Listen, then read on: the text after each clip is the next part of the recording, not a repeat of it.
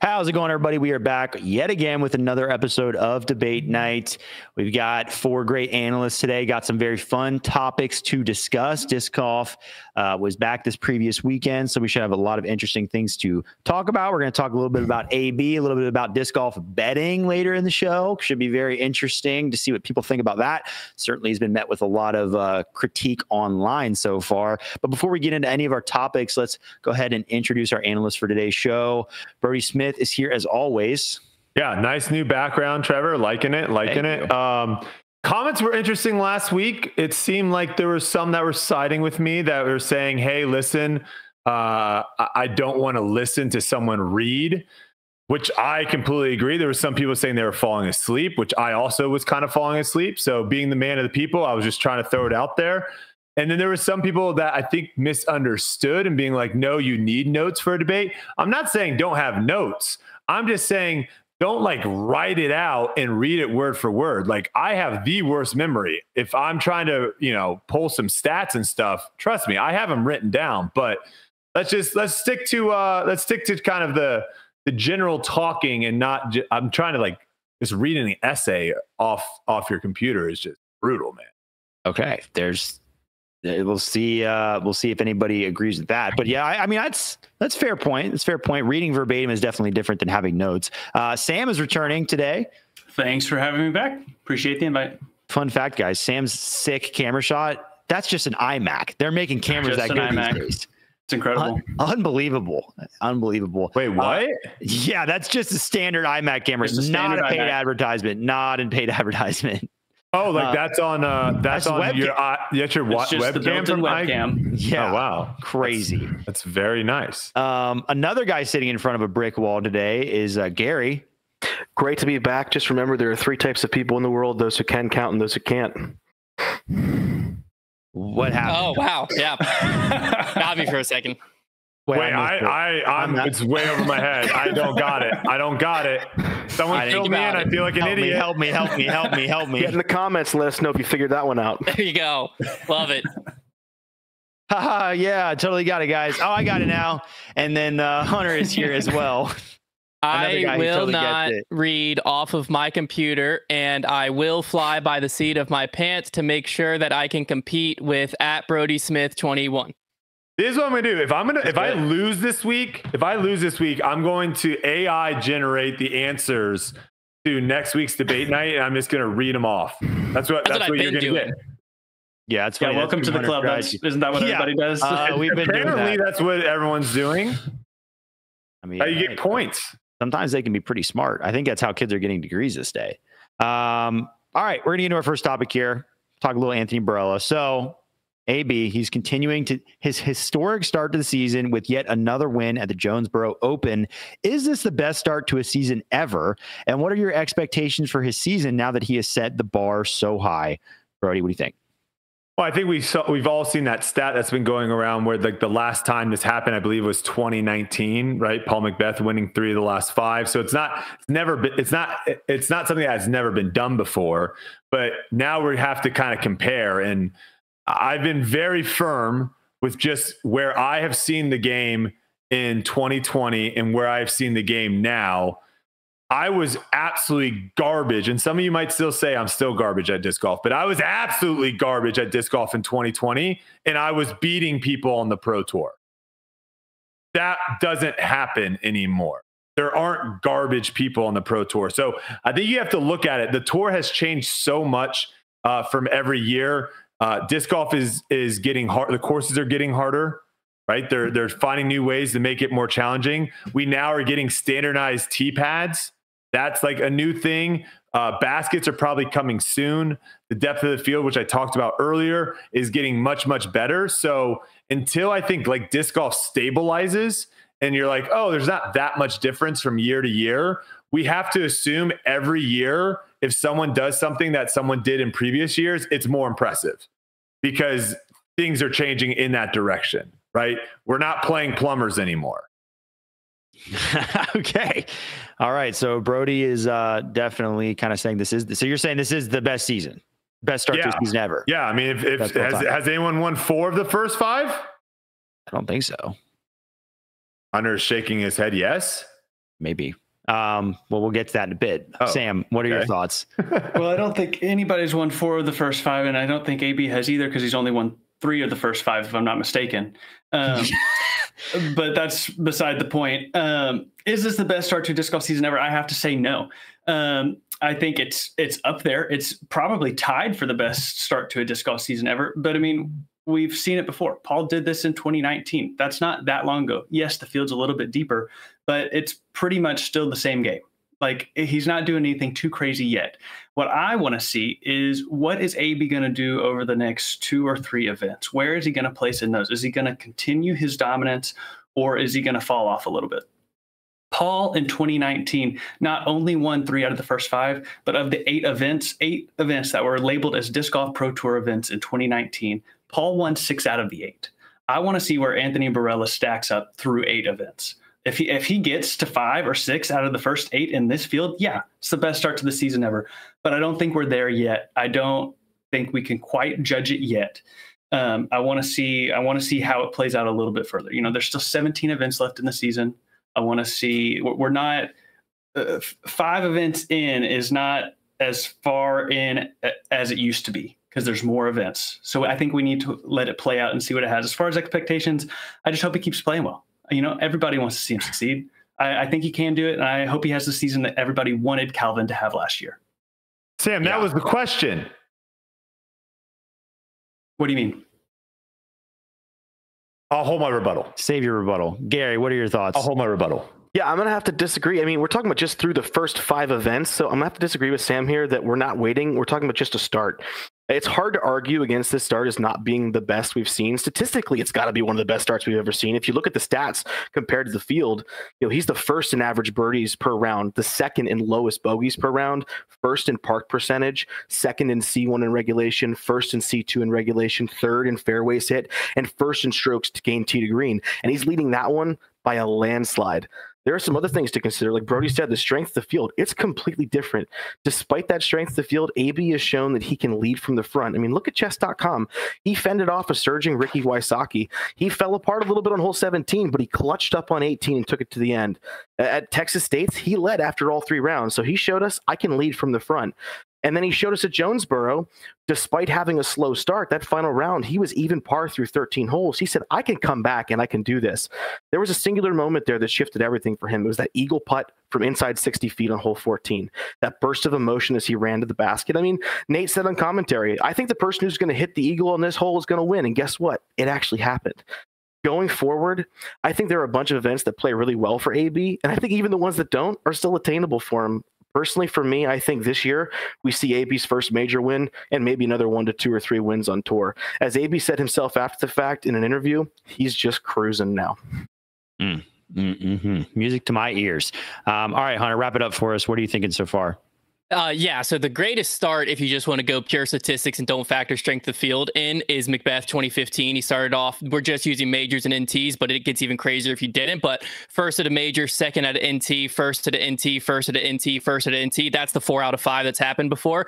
Uh, McBeth went on to not finish outside the top three for that entire 2015 season. That's nine years ago. Okay, so if you factor strength of field in, this is the greatest start of a season. Um, I did want to bring up this PDGA stats tweet to farther back that up. All five MPO Elite Series events this season have been decided by one stroke. The previous record uh, was three back in 2020. Um, so this is all neck and neck. Before 2015, 2019, even 2018, 2017, 20, all of those years where you saw dominance, you saw greatness from McBeth and Ricky, when they won, a lot of times, gosh darn it, they won. They won by a lot. Like the 2015 final nine worlds was a victory lap for Paul, and that was not that uncommon. That is not happening anymore. So looking at the second part of this question, expectations, there's no way he keeps up this pace. Let's just be realistic. I just said all five have been decided by one stroke. That if that eagle putt hits low, we're in a completely different ball game now, right? Like that's we're we're dealing with inches here. Uh, I think he has a chance at Music City. I think he struggles at Champions Cup. He went nine over at Northwood during last year's Ledgestone. There's definitely more events he could get in contention at, especially once we get kind of the West Coast and some down the stretch like USDGC. But it'll be interesting to see what happens once he loses momentum. I think he ends the season with five wins total. That's a good point, Hunt. Momentum. Because the uh, yeah, to sneak well, it in we know there. how Brodie feels about it, but it is true. Like when a guy starts the season and is winning like every other weekend, and then all of a sudden maybe they go five events and don't win. What does that do to them? And, You know, does that kind of creep in a little bit? Who knows? Um, Brodie Joseph. Okay. Yeah, Sam, I don't know if you were reading or not. You definitely were not listening when I was saying because I feel like everything you said just like acted like what I said just didn't matter at all. Saying saying that the field is the same in 2019 to now, I I, just, I was like, I know it's not because I played in 2020 and I'm playing now, and I I I'm at the bottom of the leaderboard both those years, and I can see the different level of play. Um, but I just went and looked at Worlds back in 2019 which we're not even going that far back. We're just going to 2019 and Worlds now. Here are some people because looking at this list, all these guys are still playing to this day. 2019, you still have Paul, Ricky, Conrad, Emerson Keith, Chris Dickerson, Sexton, Kevin Jones, Eagles, Simon, Nico, all those guys, Eric Oakley. That's your top 10 back in 2019. All those guys are still playing. You know who wasn't in the top 10 or top 20 back in 2019? Uh, AB, uh, Isaac Robinson, uh, Calvin Heimburg, Gannon Buhr, Alden Harris, Kyle Klein, James Proctor. All those people I list listed listed were in the top 10. So you're not having like, oh, wait, oh, all these people that are really good at 2019, they're not playing anymore. They're still playing, and there are even better people playing now. To win now is way harder. You can't say it's not. Also, what wasn't happening in 2019? You didn't have a bunch of European people coming over playing events. They maybe came over and played a major, maybe, but we're seeing the top players in the world playing almost every week now. It is not easy to win out there. The point of my argument was not that the field is exactly the same as it used to be. I could I could poke holes in your argument about you know certain Do players it. being in the top ten Do then it. versus not being now. Players get worse over time. It's it's part of the, every sport. It's true. One player that's dominant in 2019 is not obviously going to be dominant in 2024. That's just not how sports work. People age, people get better, people get worse. All the That's people I just listed, though, for the most part, are all really You good. did name a lot of old guys though. Yeah, They're all still good. The, Uh, all, nobody's who on arguing the, that they're who on bad the list that I just say are bad. I would I would agree with Sam Kevin that they, Jones? there's players you just named on a list Say that have name. declined. Nate Sexton. No, he just doesn't play that often. Uh, he, Yeah, Nate which means that he got worse. Nate Sexton. Nate Sexton was like a shoe in for top six every time he showed up. That back doesn't mean he got worse. No, no, stop. What you guys are saying is different. Nate Getting Sexton is a worse no, disc golfer today no, than he was back stop, then. I will stop, I will stand on stop, Stop. What you're saying by saying he was a shoe in for top 10 doesn't mean I that he got that that's I not agree. a good argument That's- to say that he got point. worse. If that. you go Sexton to a bunch of C tiers and get top destroying 10s, Nate Sexton today. I'll, Yeah, I, I'll, would, I'll stand I, I don't that. think that it's the place that matters. I do think that he was a better disc golfer then, though. Like I think there are guys on you that can watch list his game. that were better. I, I, and once again, I will say that I think that yes, this field is obviously much stronger now. But a lot of those guys you listed, I think, have gotten worse. Can, can. I just say, can I just give you some stats real quick? Sorry. Just going back, I, I will say last year he did have an off year. I will say that. I looked at last year, he did have an off, off year. 2022, he finished 21st at DDO, 11th at OTB, 10th at Portland Open, 9th at Worlds, 10th at USDGC. Mhm. That that's a that he's bad. Two years ago, two no one said years he was bad. We said he's worse than 2019. and that was my argument. Brodie, are you having a worse season this season than than, than last season? Yes. And there you have it. Players can get worse in, in one year. Uh, mm, Ah! No. I've gotten a heck of a lot worse since 2019. I can tell you that much. what you guys are saying right now, what you guys are saying is ridiculous. I agreed with your argument. what you're I saying- sided with you. There are so many better people playing Yeah, to where no, no, no. now. Yeah, I- if I Nate agree with that. Sexton mixes misses a And I couple acknowledge punts, he doesn't finish in the top I 10. do he think the finishes field is outside much- the uh, uh, outside the top 30. I do think the field is true. much better. I, the field I can be deeper think and players can get worse. Yeah. Yeah. Well, I it's think that because it's because the f- the finish the, the compression of the finishes are also different. You know, you, you're not having players win by tons and tons and tons anymore. We just talked about how that's you know one stroke. So the the, the margin for error is just going smaller and That's true. smaller and Also, Yeah, smaller. the difference 20, between different first, now the than it did. difference between first and tenth at Worlds in 2019 was 20 shots. The difference between first and 10th at Worlds in 2023 was uh, seven shots. What are we talking about? I feel like I'm talking to a bunch of crazy people. So you you don't think player? I know. I want to ask you. I want to ask you a question, Brodie. I want to ask you one question. Yes. So has Tiger Woods gotten worse at golf? Yes, he had surgery, major what, surgery. surgery. Okay, what about uh, what, what the about? heck is wrong with you? What about? I mean, name any other he's player. He's also forty plus years old. Is Hunter. Arnold Palmer? He's dead. We're talking all those people. Hunter, is, Hunter, all the people. Players get worse. It's the only point all I'm trying the to people. I just talked about are not forty. Hunter, your argument is so stupid. That's not. That's not. That doesn't matter. So you yeah, that wasn't, age. Nate Sexton stopped touring and was a dad. He probably isn't practicing that much. So that make, he's, he's probably worse at disc golf. So he has gotten worse. There's no you point to this argument because it wasn't the key point of my argument in the first one place. guy that isn't really trying to be a professional disc golfer. I anymore. didn't pick Nate Sexton. You did. Ricky Wysocki's worse. You're screaming to scream. No, I don't point. think Ricky's worse. Okay, Eagle or, or Emerson uh, Keith, James Conrad.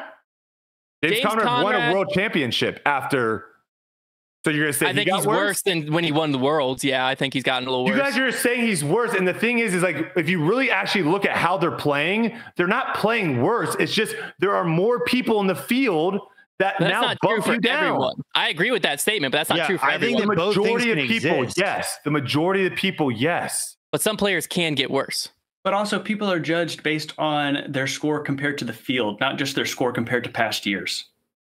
Because conditions are different every year, so it's you're not playing the same game on every course year after year.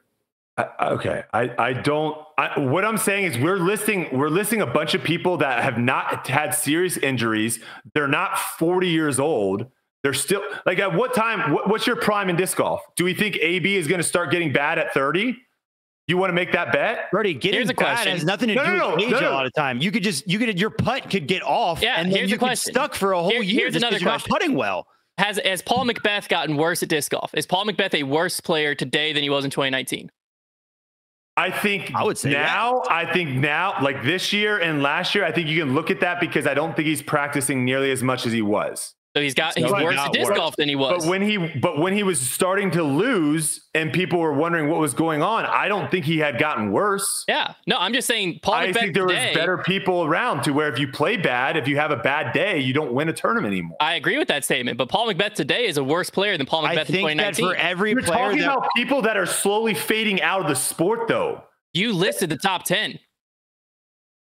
Yeah, I mean that's just the people that you, but I'm just saying, Brodie, like Yes, and I'm saying all the people that for are still- anybody- all the people that are anybody that still we're playing, saying- there are are are better or about the same.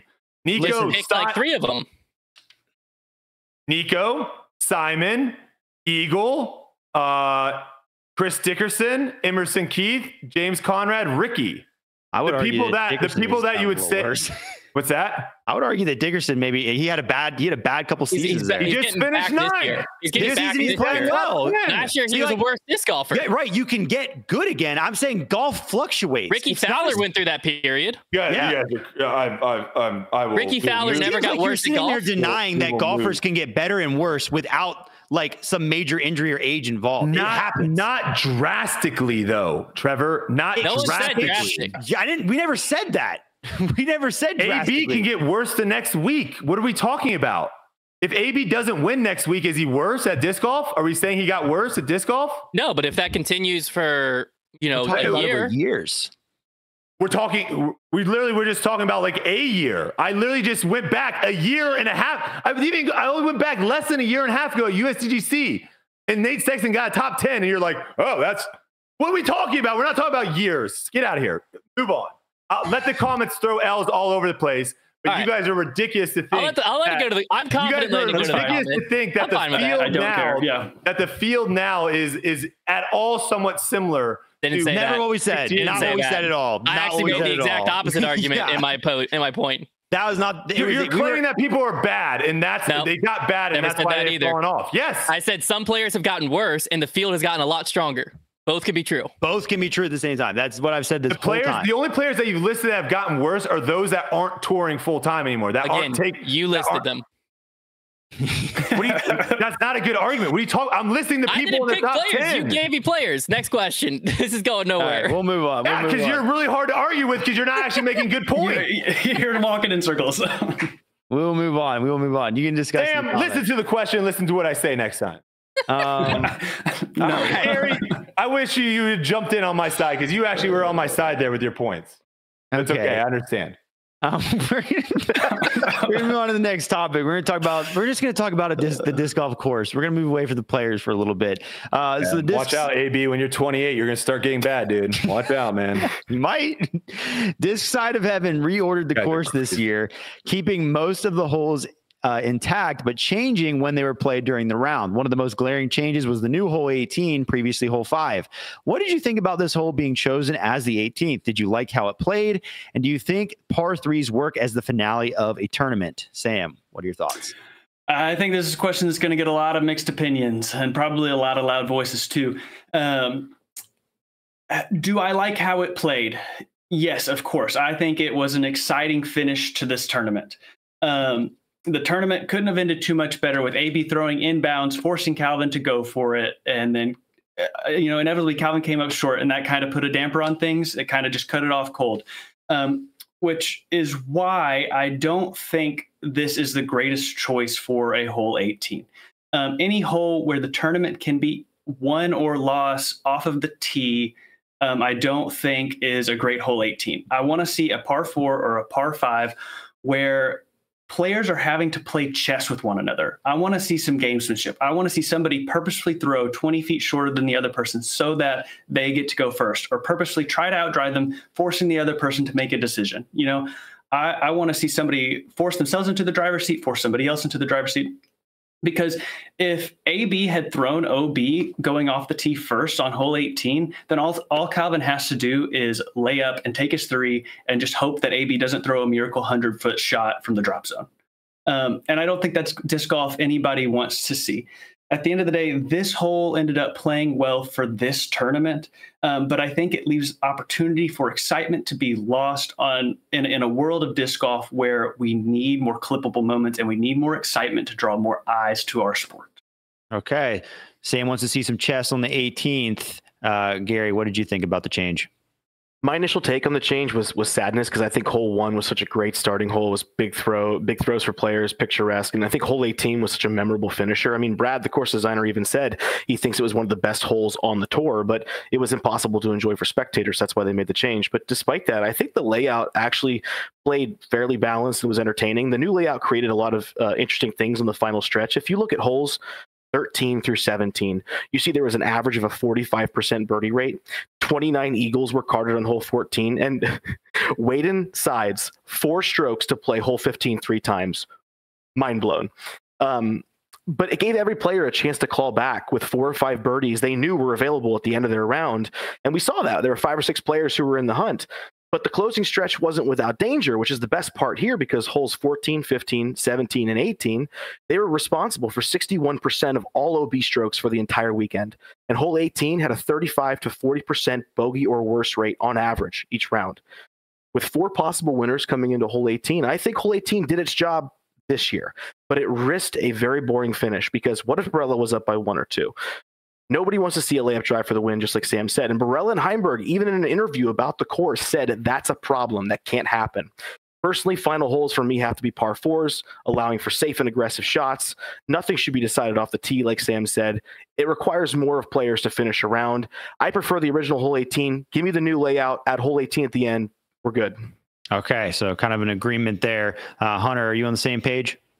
I am. Yeah. It's unfortunate that I'm going third here because I don't really know what else to add, but I'm to try. So I like how it ended up playing, as everyone said, um, but that was about the best it could have played out realistically. Um, at the end of the day, I think par threes just aren't ideal for the final hole of the event. Um, my reasoning is more so viewership because it just doesn't let the drama build enough.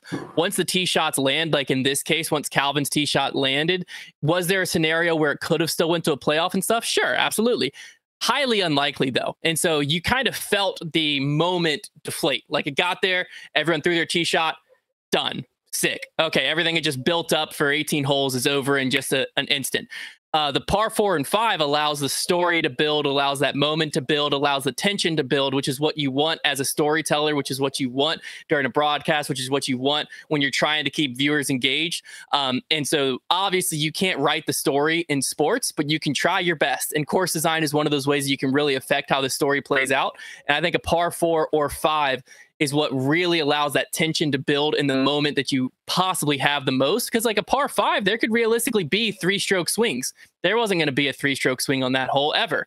Um, so someone could go up by two and lose it all on hole 18 still, which keeps the viewer engaged all the way through. And then you're also sitting there even several holes before going, well, hole 18's coming. So I think four or five is where it needs to go. Yeah, sometimes just having that idea that a lot of strokes could be won or lost on a hole is is important. Um, Brodie, what do you think? Yeah, I mean, I think my I've said this many times. A par three is is a pretty lame way to finish a tournament. I think it's also a cop out a lot of times because um, you only have to execute one shot, and uh, when you have the lead, only being only having to do that, it's really a lot. It's a lot nicer. You also don't have to really make a decision at all right? Like AB didn't really have a decision to be made on that final hole. Uh, ben Callaway did. I guess you could say Ben did. He could have. He said he could have played for par and, and forced the issue with the other guys behind him with a one shot lead. But I, I, think the par five actually would have been a much better finishing hole, uh, which is actually right next to that one. So you would have that same gallery, I guess. And Gary kind of nailed it the idea of why this became hole 18 was not because oh this is a good hole to finish on the idea was well our whole our old hole 18 like sucks for spectators that's not a good answer to switch and then i'll push back a little bit i think hole 17 Gary was saying it was he likes the risk reward there. I think in that instance, having the OB around the basket kind of sucks. If you look at like Ben Callaway's shot, um, he would have been OB by quite a bit and had a long putt and probably would have missed anyways and made par. He would have gotten the same score. I think when you have OB around the basket like that, you can be pretty aggressive because you know even if you go OB, you're still going to have a putt for par. Yeah, a lot of times the OB can be so weird in disc golf. A lot of times it acts as like a safety net when Correct. realistically it's meant to punish the player when they it's like it's that that that give and take of like, oh, it's close to the basket, so you gotta you have a tight green, but also if you're throwing long approach shots, you could just nuke it, knowing that the worst I have. Distance. Yeah, yeah, you're you're not wrong. Um, definitely would make things difficult there. Um, all right, we are going to move on now, talk about Calvin Heimburg. Uh, that's definitely kind of been a recurring topic, but it's now almost coming up on a calendar year here. So it's been nearly a calendar year since Calvin Heimburg won on tour la- um, at last year's Jonesboro Open. Obviously, took place a little later in the season uh, last year. Is now the time to start the narrative that he has forgotten how to win, or is he exempt from that label considering his consistent podium finishes? Curious to hear what you guys have to say about this. Gary, what are your thoughts? I, I think it's ludicrous to say that Calvin's forgotten how to win. If that were the case, why is he given the opportunity to win so many times. I think the better question might be why is he not winning right now? And I think that's because the field has grown beyond allowing mistakes to be made in big ways. I mean, the double bogey he took on hole 10 in the final round of Jonesboro, that was shocking to me because when I think of Jonesboro, I think of Calvin slicing and dicing that fairway every single time. The last three years on that hole, he's had seven birdies and four pars. He hasn't even sniffed a bogey, yet alone a double bogey. But I think his biggest regret might be on hole 16, where he put himself in a decent position to get a birdie. He just needed a little chip forehand. And he said in the interview that down the stretch, if he needed to, he might throw one. The biggest thing for me is he watched Simon throw moments before him to go over the top, and Simon went out of bounds. And he decided to follow that line anyway. And he found himself in a position where the par was really tough to, or the birdie was tough to get, and he took par. Um, you don't get to take rounds off anymore. And I think Calvin's figuring that out. If you look at the Open at Austin, in the first round, three players outscored Calvin. In the third round, two players outscored Calvin. But guess what? Second round, 29 players outscored Calvin. At Texas State's first, same thing. First round, one player outscored Calvin. Third round, five players outscored Calvin. But in the second round, 22 players outscored Calvin. The field is not tolerating bad rounds anymore. I think Calvin's a threat to win every single weekend that he plays and gets on the tee pad. And I think he's capable of winning multiple events this year. And I think he's going to. I just think right now he needs to try to find a way to keep it more clean through the entire event, especially these three rounders where he doesn't have the extra round to claw back. Yeah, interesting stat there, kind of falling asleep almost Was- in that in that middle round there. Was he OB on 16? Did they make that OB behind the back? Because he made his putt. I don't. on 16. Mm, No, he decided to think go. He he came up. He decided to go over the top, and he landed like in the bushes off to the left. I know, and but then he made that putt. No, he missed that putt short.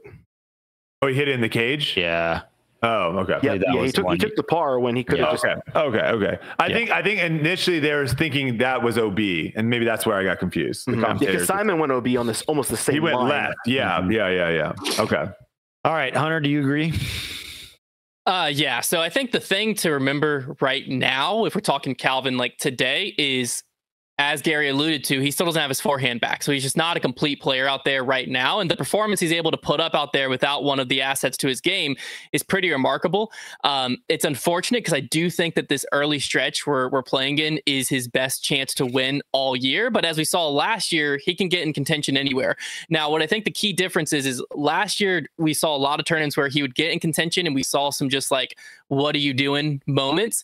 Um, this year, it feels like the mistakes aren't like that. Like some, of- we literally saw some like 15 foot putts missed under pressure last year, which was like, okay, this guy's forgotten how to win. I don't think we're seeing that this year. Um, so I don't think this narrative really holds weight because I think that he's putting himself still in a position to win while injured, which is impressive um, that he's able to do so. And I think once his game's fully back, then maybe we can talk as it goes on. I think the narrative does hold weight for majors because that's something he hasn't done yet. But with so many Elite Series wins under his belt, I don't think that's something that's on his mind right now. I think right now it's just getting back healthy. And I think he's probably even surprised that he's still rattling off top fives like it's his job um, with only that one blip being chess.com. So the wins will come at the Elite Series. Can he make it happen at a major? That's still TBD. Okay, Hunter not ready to pull the trigger on that narrative yet either. Um, Brodie, are you? Yeah. Well, I mean, Hunter was beating around the bush. Let's just say what it is. Calvin's worse, guys. Calvin is worse. He is a worse player than he was a couple months ago.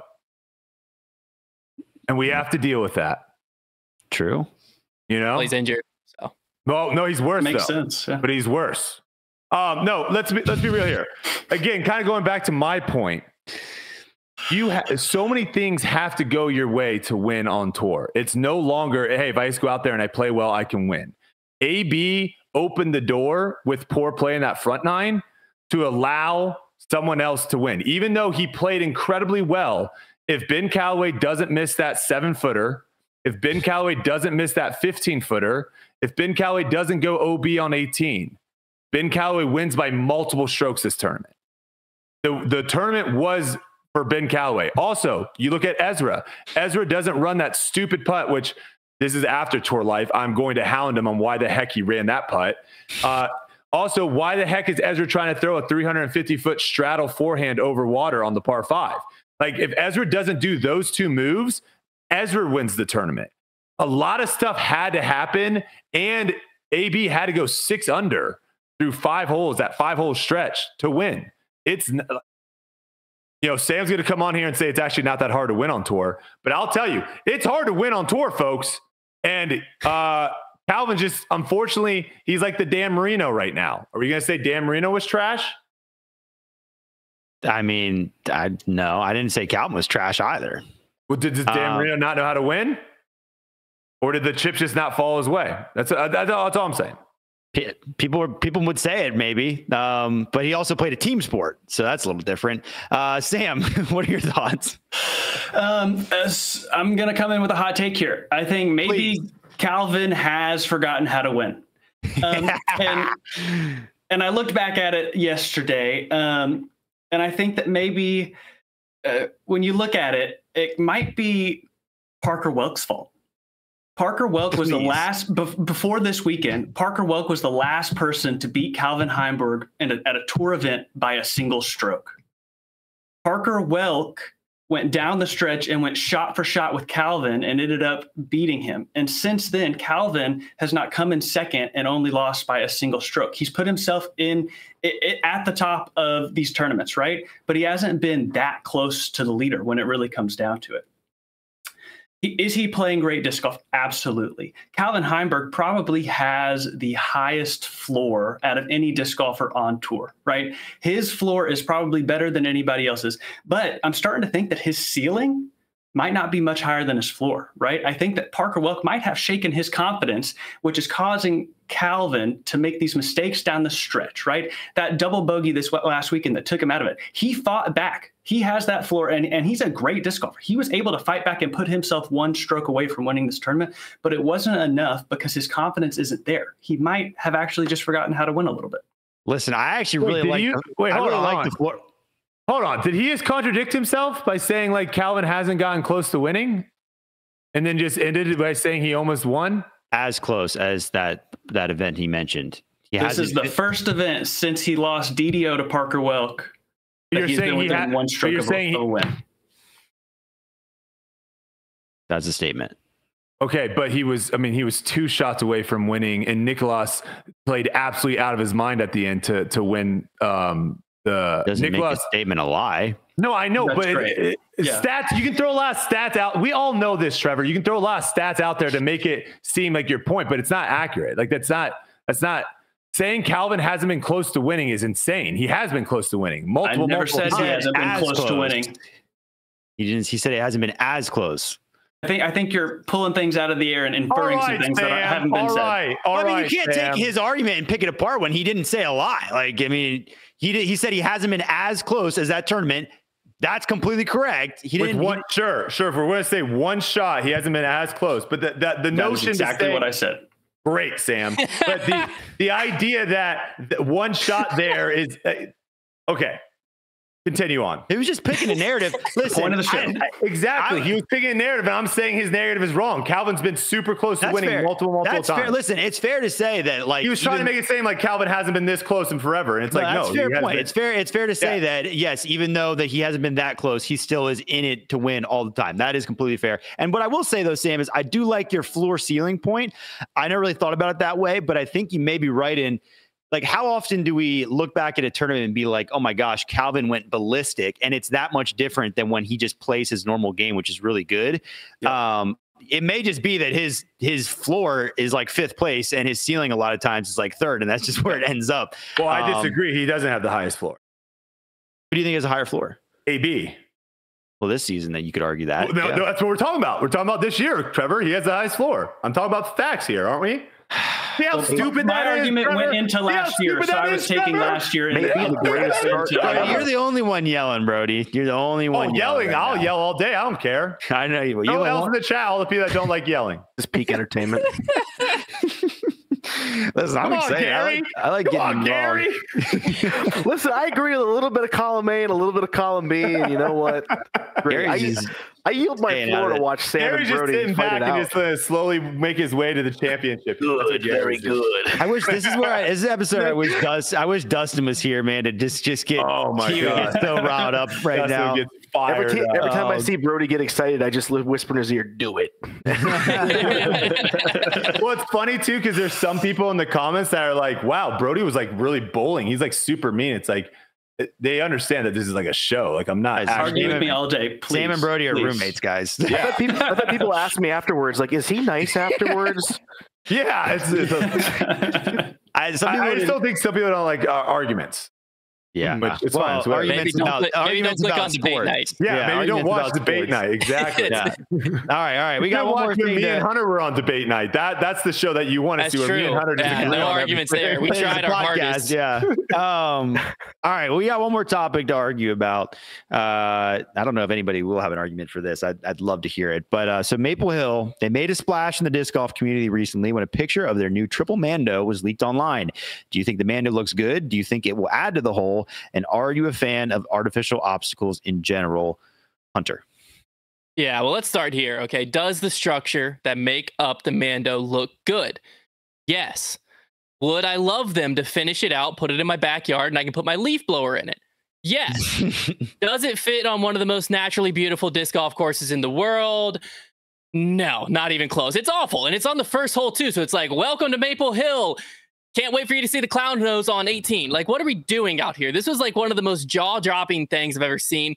Uh, if we want to artificially make courses harder, I'm for it. I'm golden. I'm here. Okay. But it's got to fit the vibe of the course. We talked about this with USDGC. Okay. USDGC already has this gimmicky vibe to it. So more gimmicks tend to fit in a little bit better. Do I agree with all of them? No, I hated the mozzarella sticks. I'm still not that big of a fan of them. They put freaking Christmas trees two inches from a T pad. That wasn't the best idea, mm-hmm. but that fits a lot better than Maple. You know what? Maybe the Christmas trees actually would fit better at Maple Hill. Maybe I take that one back. Maybe they would fit better there. But this is just a barn. I understand they're trying to go for like a covered bridge type thing, Massachusetts, whatever. Hoorah! Let's burn it. Let's not do. Okay, don't actually burn it. Sorry. Let's not. Let's just. Let's just someone get this off the course. Someone get this off the course is what I mean to say. We don't want it out there. It's going to be an eyesore. Luckily, this was kind of posted and leaked. We're in April right now. Uh, let's get it gone by September. We got plenty of time to do so. Okay, gone by September. Is that hashtag gone by September? Is that is that where you're going to get started? Yeah, no, please Imagine don't burn it. No one, start a, start unless you're the owner movement. of the property and you want to take it somewhere safe. That's fine. I just had to clear that one up. Okay. That came out. That came um, out wrong. Brody, are you nearly as passionate about it? Well, I'll say that if, if, if the right people, if the right professional disc golfers say something, it will not be there. I'll say that. Um, cool. I mean, it is what it is. Uh, does it does it look like it fits? No, but it was funny how Hunter was like super like adamant of like this is the most naturally beautiful course because like Yuli hates this course. He thinks it looks terrible because every fairway has a, a road down it. Which, if you actually start thinking about it, he's kind of right. Like every every fairway does kind of have like a road. So it's not like naturally beautiful in the sense of where there isn't. Uh, I mean, there's roads. You're you're throwing your fairways are roads. So Yuli does have a point there, but I'm gonna. I think we all agree it looks weird, but does it serve a purpose? And I believe it does because the trees on the right have been thinning out the last several years. And what that ends up happening is one, you get shots that people are trying to throw through the gap that's intended, and they go through the right side, which is not intended, and they get lucky and they get birdies. That's not good for disc golf. And then also, what ends up happening is if you throw a bad tee shot, and you throw your, you know, everyone throws that landing zone shot and laying up. If you get too far to the right, we're all trying to throw it in the gap there. But if you get too far on the right, you can still just jump putt through those trees and you can do the same exact thing. So this change is actually going to make it good because a good drive also it's going to um, force people to try to get a little bit more aggressive off the tee to get more distance so they can actually try to get the birdie. I think it's a good change. Looks terrible. Okay, okay, Brodie, respecting the functionality of yes. the obstacle. Okay, very. Unless very... you can build a tree like, unless you can grow a tree like that. True. All right, Sam. What do you think of the new obstacle? okay, uh, I think I'm about to go four for four here. I'm disagreeing with Brodie again. Oh no. I I, I don't like the execution of the Mando. I think it looks silly. It's out of place. I think I think artificial mandos can be. We agree there. Can, can be done. Yes, yes. I'm I'm not there yet. Um, I, I I think that they can be done well, and it just hasn't been done well in this um, situation. I, I, think it just kind of sticks out, and it really it, it ruins hole one. Um, where I disagree is that I don't think it makes the hole better. I, I don't. Ag- I don't agree that it improves the play of the hole. I think people are going to throw their bomb drive over out over the lake into the open or not so open field, depending on the growth of the trees. Um, and then this triple mando is just going to make people lay up. Um, yes, uh, like the hole already averaged over par last year through through throughout the MVP tournament. Um, why why are we trying to make it harder? It's already one of the top like six hardest holes. It's in the hardest third of the course without the triple mando. Sure, some people are getting lucky over on the right hand side, being able to pitch through the thinning trees, but a triple mando here is just going to promote people laying up to it and then tossing through and taking their par and going home.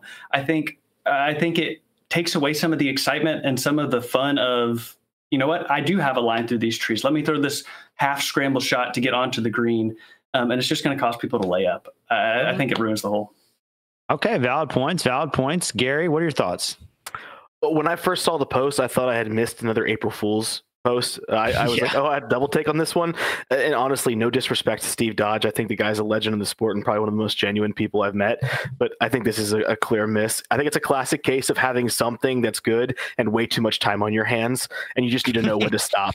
Uh, a hole one at Maple Hill is like one of the most iconic hole ones for so many disc golf fans around the world. I remember my first time there. It's like stepping into a new world. Um, but I think it detracts from the hole quite a bit because There's no, um, you know, epic out of position shots.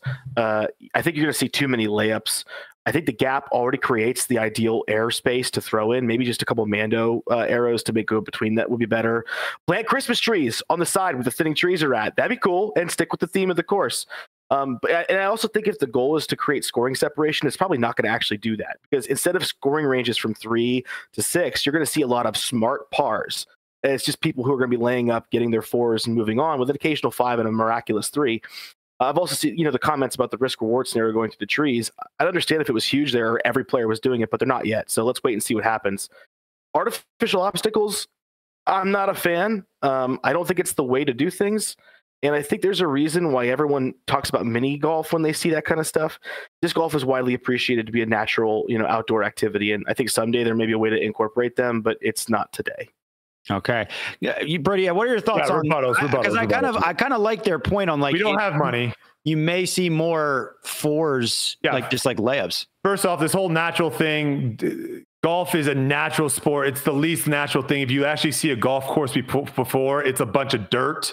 Mhm. So this whole idea that this is natural, no, that's a bunch of bogus. I think what We people don't- mean we when they don't- say natural is they just want I- like it, things Yes. that will be in the environment. I guess. Yeah, but you could go out into a, a, a patch of woods and you go, man, I could just see a disc golf line here. You could throw a disc through the trees. You're not going into an open field and going, man, if I just dig all this out and put a golf green here and a bunker there and a But I bunker mean, you're still cutting down trees, so uh, it's it's it is a it is like a whatever. But I think uh, the hunters point, if they would have had the um the thing that they had on hole one at USWDGC, I think Hunter would have liked that. Did you guys watch that tournament? Yeah, the, Yeah. like Sprinkle Valley. The nice triple va- the triple Yeah. Mando there. If they had something like that and it said Maple Hill, I think people Yeah. would be less worried. Um, but yes, to go to your point, Hunter about or Trevor about the play. Has anyone played that hole? Gary. Me, Okay, me and Gary have played it. Great. Okay, so um, the the idea that more people are going to lay up, a, a lot of people already lay up on that hole, but now, it- it- well, let me ask Sam because I, I don't want to misconstrue his point. What what is wrong with people laying up on that hole now? Like what what was your point? With saying you're like you're well, saying there'd be less aggressive shots. you're Yeah, saying there- there's, just be more there- layups, It's right? the score separation. Yeah, is, is everybody's going to be taking a four. Okay. I disagree. There's going to be more scoring separation now because now your layup actually has to be accurate. If you're in the Christmas trees, you can't just chuck a shot that people were chucking. And then, like I said, again, I don't know if people are listening to me. If you throw your shot too far to the right there, it would be almost impossible to get up and down through that triple Mando. But in the uh, old hole, you can jump putt and make birdie. People were jump putting and making birdie through the trees.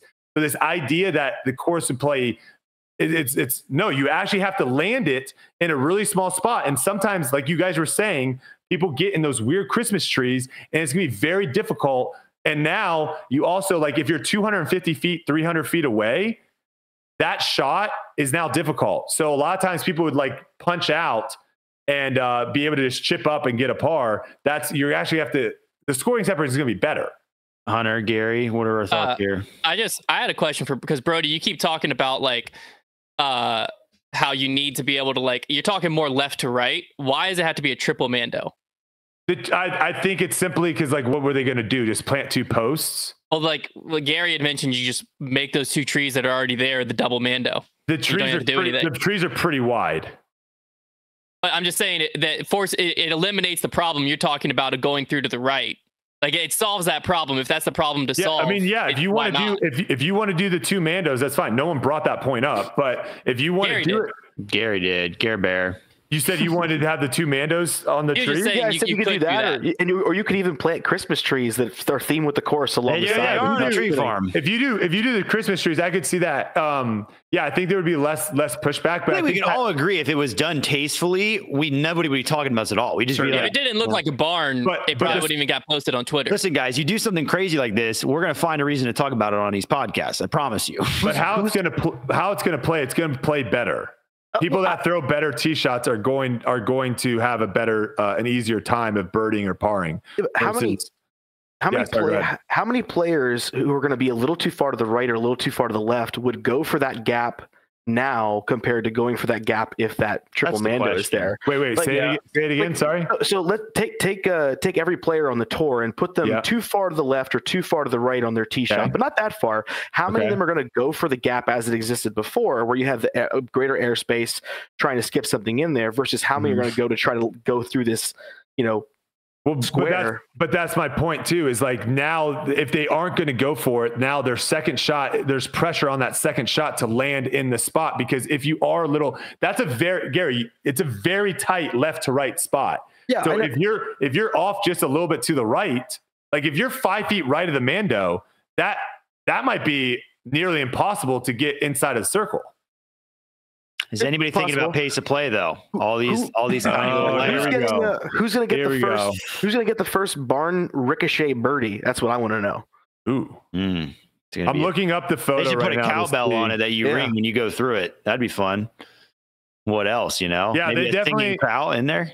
I was incorrect. They definitely could have um these trees right here. They definitely could have put two Mandos. Yeah, that was the first thing I- I saw. And it would- goes to what Birdie's or, or was it Gary that said you've got they got too much time on their hands and like don't like Yeah. that's probably Yeah. what it was. It's like, well, we could just put arrows on these trees or yeah. what about I, a barn. but it If- if- also, guys, it also looks like the right side has thinned out even more since last year. Like Maybe I'm it looking did. at Maybe it. this was like a this might have been just like an emergency decision. it looks like there's Yeah. two trees there now. It's I mean, it's emergency way thinner than I six thought. months out So, from the event. I'd lo- yeah, Ain't I'd love to know red, what man. why not do the Mandos and and and put that there. I'd love. I'd That's what I was curious. Yeah, I think a double like- mando fixes the problem. I, I think I think it would provide more scoring separation if it was a double mando hmm. versus a triple mando. the triple mando is triple just The is like triple such is a very window. Damn, if the scoring interesting, man. separation is if, if the scoring separation is not better this year than last year, I'll give you twenty dollars. Ooh, there we Deal. go. I, I- I'll pay uh, Steve Dodge money to go volunteer to ask him that question this year. excellent. There you excellent. go. All righty. Well, we're going to move on to our finals now. Hunter, Gary, all tied up. Moving on to the finals. Get rid of the those two uh, two guys that just kept bickering. You know, uh, this is a pretty juicy one. All tied up. We got a, a very juicy topic here. Something that was just announced. Um, Gary, you're our, you're I think you're our most recent champion. So I'll let you decide if you want to go first or second. I relinquish my time to Hunter for first. Okay. Hunter will go first. This is the question.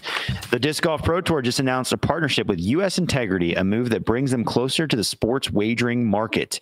This is being met with some very strong opinions in various ways, especially online. Uh, how do you think sports betting will impact our game? What are some potential some potential strengths and weaknesses of this movement, Hunter? So we got to look at this thing objectively first, okay? We got to take what it is out of it and just look at it because let's let's take two points first. Will it bring more eyeballs to the sport? Yes. Will it bring more money to the sport? Yes. If you remove that it's gambling from this, I think everyone would agree both of those things are good. Where it gets tricky is I don't think anyone has to be told gambling has the capability to destroy lives. So the growth of the sport is good, but this decision does come at a cost. Um, so, like, let's look at me personally, right? I personally, I don't have temptation to overdo it on gambling. That's not something I've ever struggled with. I think it's a ton of fun to throw five dollars on a team at a major sporting event, and it increased my interest in the game.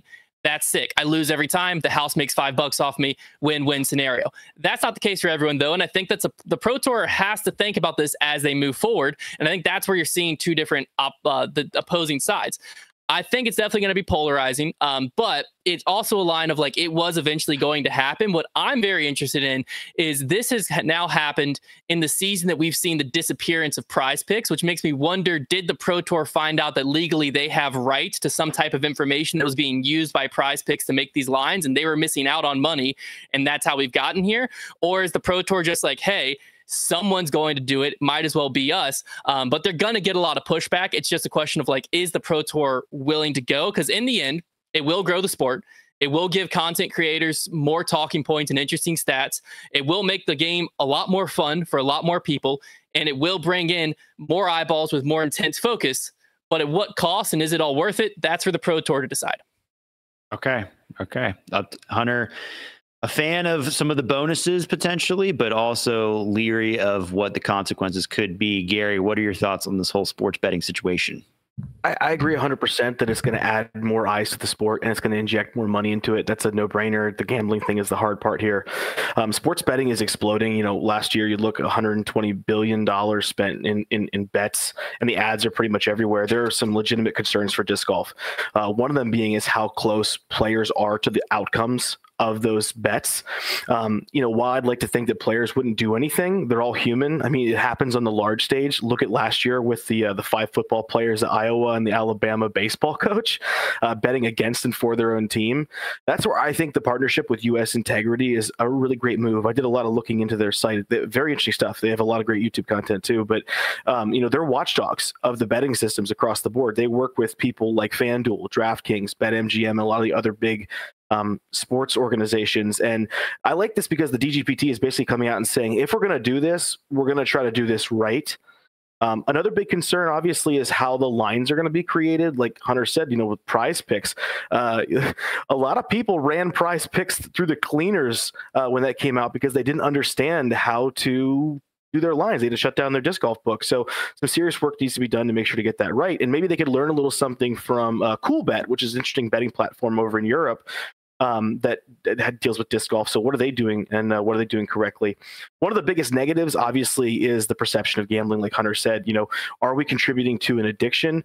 I think that's where another lesson can be learned by looking over to Europe, um, where this is a has better reception. You know, Kristin Tattar is sponsored by PAF they gave their proceeds to the public via grants and it was estimated that you know they gave out 15 million euros in 2020 in public grants for like sustainability and whatnot. So i think their transparency really helps with like the overall community perception of, of betting.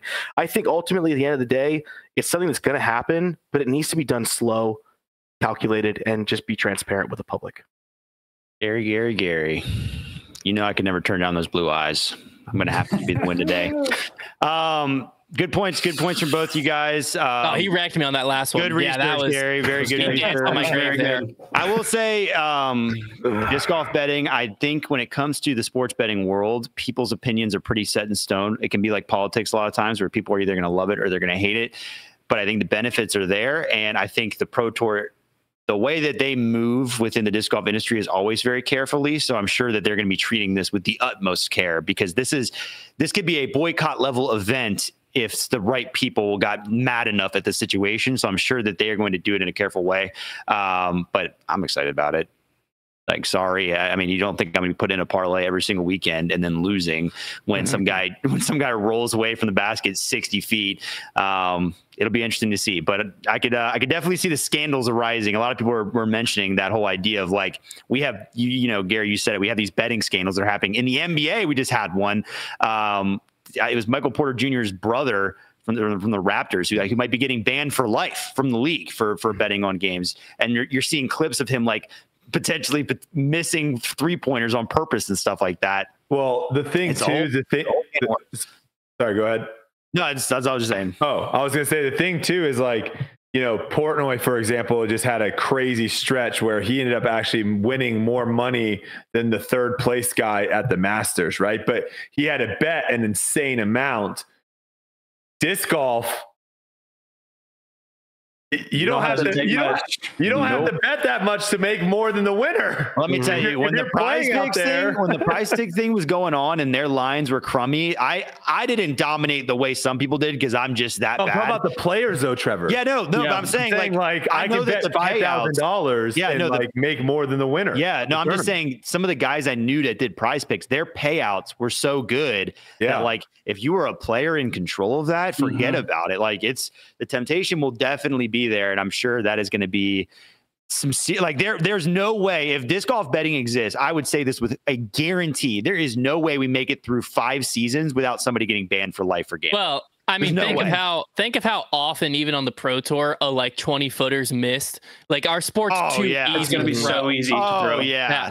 Yeah, one of the me? one of the lines I wrote down from a Reddit comment was, "You can make way more money throwing around um, than you can losing to Anthony Barela," and I thought that was really funny. That's, so true. You can make so much more money throwing rounds. Just right now. Well, Gary, you're the champion today, um, multiple time winner now. Uh, what do you have to say about your your victory today?